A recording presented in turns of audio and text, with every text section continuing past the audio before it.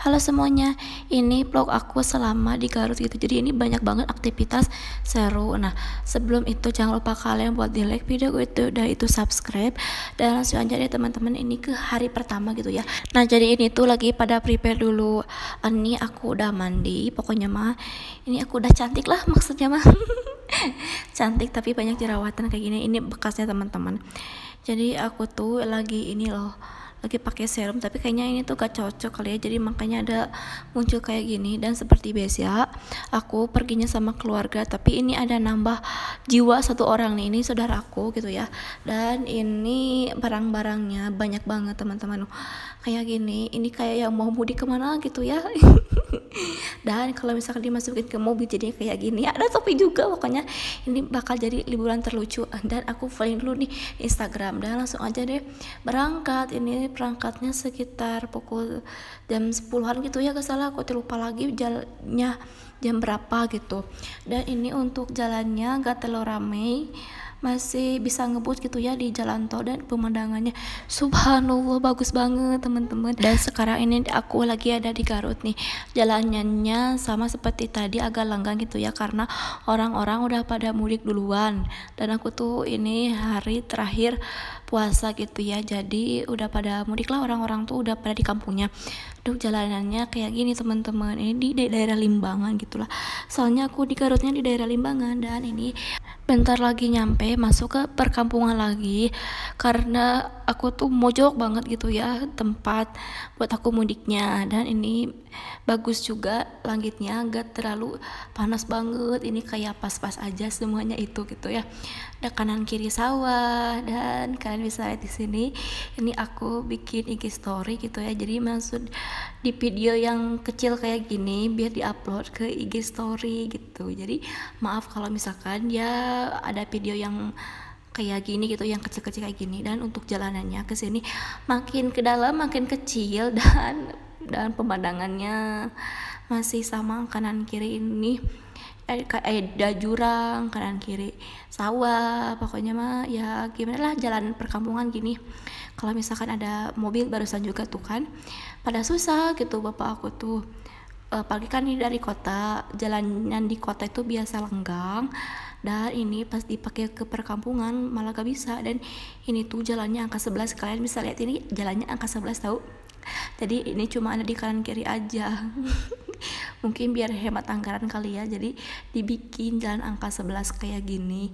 Ini kalau aku lihat sih bapak aku gak bisa kelihatan nih ada motor. Yang pertama itu lancar Jayana kan bisa udah udah gitu kan e, maju lagi gitu ya sempat gak bisa karena turun turun turun, turun. Kayak gini teman-teman. Aduh hampir spot jantung dari sini. Dan ini ada lagi motor kedua. Aduh ini tuh kenapa sih?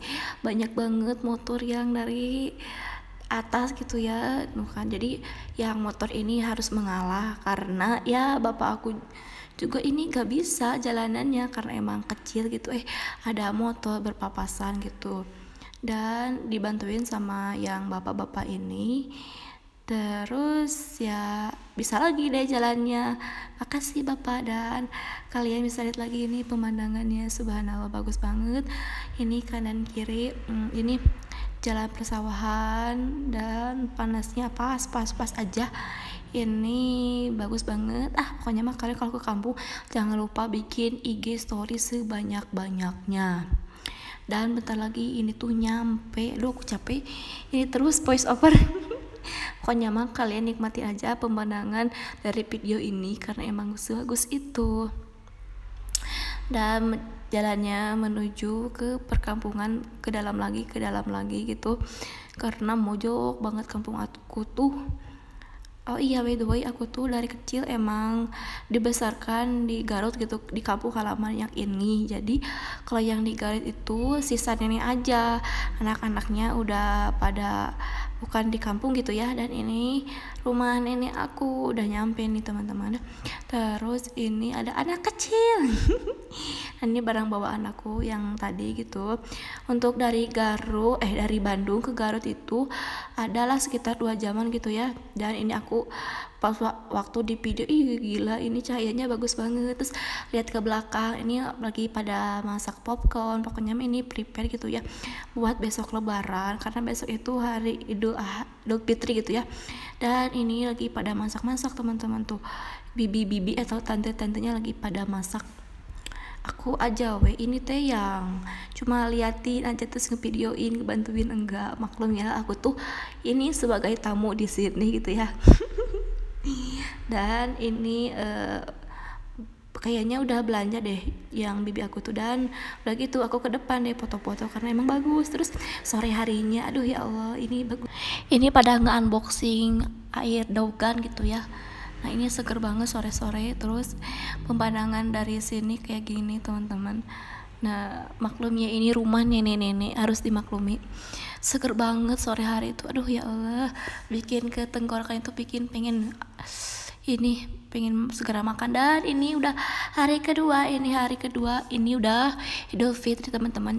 Seperti biasa gitu ya kak karena ini Idul Fitri jadi ini pada mau bersalaman. Dan aku gak pakai masker karena emang di kampung itu emang ya udahlah gak usah pakai masker gitu ya. Orang-orang juga kayak gitu tuh.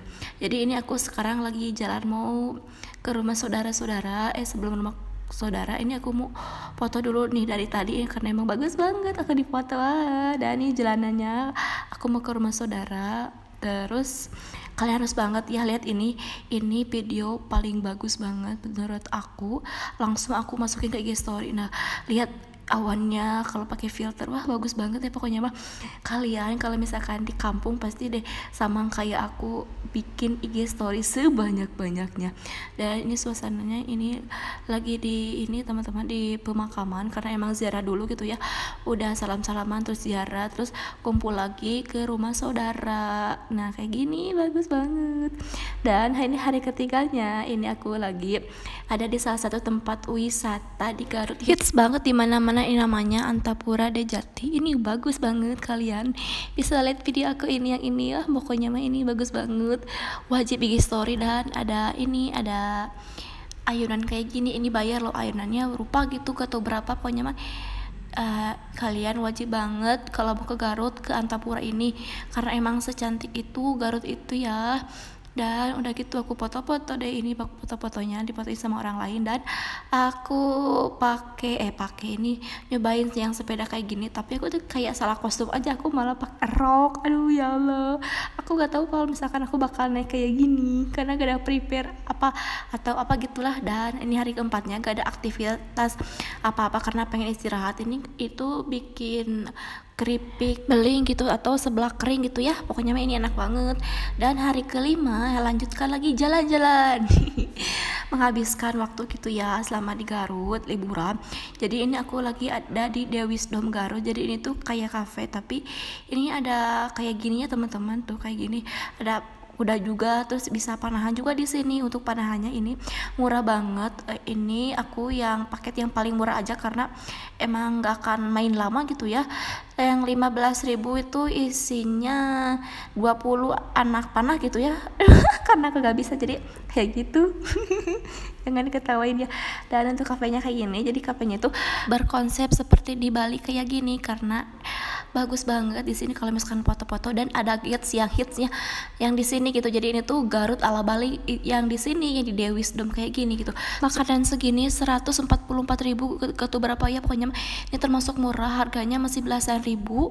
Terus kalian wajib banget ke sini ke Dewis Dom meskipun jarak dari Limbangan ke Dewis Dom ini sekitar satu jam. Tapi ini menurut aku worth it lah karena harga makanan di sini tuh enggak zong. Cuman ya karena panas kalian terus banyak orang. Jadi aku pengen marah-marah aja kemarin-kemarin tuh ya uh, terus ini aku lagi sambil ngobrol aja sih. Untuk foto-foto di sini ngantri teman-teman. Dan ntar aku bakal insert foto ya menurut aku bagus gitu ya karena ini cuacanya lagi mendung. Jadi aduh menurut aku susah banget ya kalau misalkan lagi cahaya mendung tapi dipoto gitu. Dan ini lagi makan karena emang ini enak banget kalian harus banget cobain. Aku lanjut udah makan nih langsung dipoto. Ini hasilnya kayak gini lanjut deh hari besoknya. Ini aku lagi di rumah saudara ke rumah nikahan karena saudara aku besok nikahan dan ini lagi pada nginep. Dan terus ini tuh lagi pada makan-makan gitu ya. Barusan makan seblak tulang. Seblak tulang enak banget banyak bikinnya gitu ya. Dan ini seblak tulangnya enak. Jadi pada makan semua dia terus sorenya aku pengen jalan-jalan lagi nih karena udaranya emang segar terus ya buat IG story aja lah pokoknya pak. Jadi tujuan aku tuh buat memperbanyak IG story. Ini tenda tendanya buat besok nikahan. Jadi aku tuh bermalam di sini gitu ya ntar malam. Dan kalau misalkan di videoin walah bagus banget teman-teman.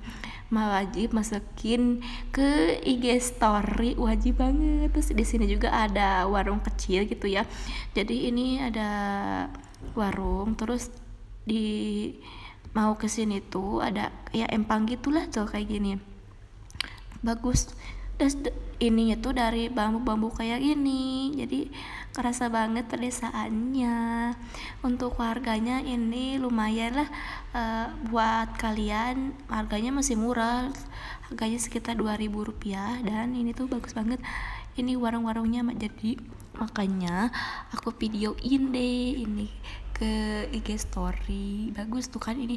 Harga seafood bakarnya juga 2000-an dan aku juga di sini jajan bukan cuma foto-foto aja ya atau video-video aja. Masa iya sih? Cuma foto video dan ini aku lagi jajan cuangki. Kalian uh, ini ngerasa ini enak ya? Pada ini enggak banget lah pokoknya mah.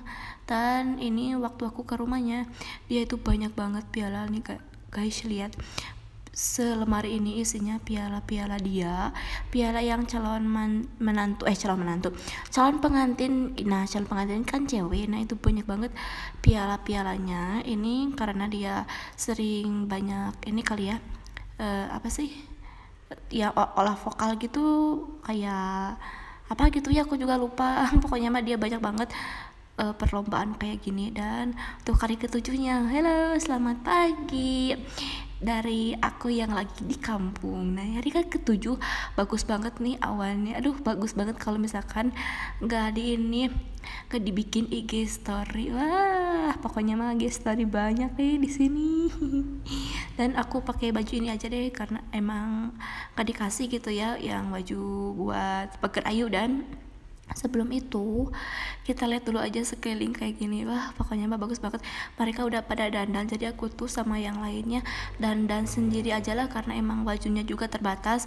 Terus ya aku juga punya baju lah jadi ini gak malu-maluin banget bajunya. Terus gak gaya banget pokoknya biasa aja bajunya. Yang penting gitu bajunya sesuai tema. Dan ini kita kita guys udah pada di make up nih teman-teman. Udah panas juga. Terus uh, sebelum mulai dan seperti biasa aku mau foto-foto lagi. Terus banyak foto-foto. Dan ini waktu di nikahan saudara aku gitu ya. Yang nanya kapan kawin kapan nikah ntar aja kapan-kapan. Terus ada yang minta foto juga. Jadi ya udah Nah sorenya aku langsung pulang lagi nih ke rumah si nenek karena emang udahan gitu acara pernikahannya dan emang capek banget ini badan.